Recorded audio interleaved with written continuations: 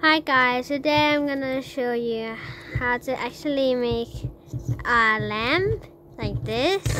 Uh, and then you can actually press this button and then you know it shines like a light.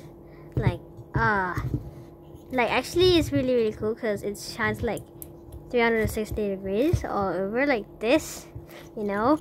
And then like also this also use like some wood and then like some of like like uh glass bottle like this. And then this one has like like you know you're gonna screw it in like this you know. And then you order you're gonna also put this in too so you can actually hold it like a holder like that. So yeah guys i'm we're gonna explore inside right now.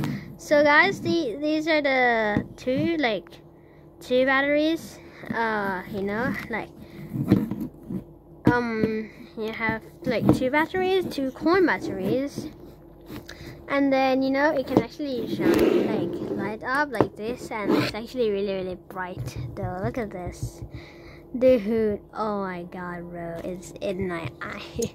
Okay and like you see it's actually like epoxy board over here. Is like a epoxy board. And then yeah guys um yeah I hope you guys like this video. See you guys in the next video guys. Bye guys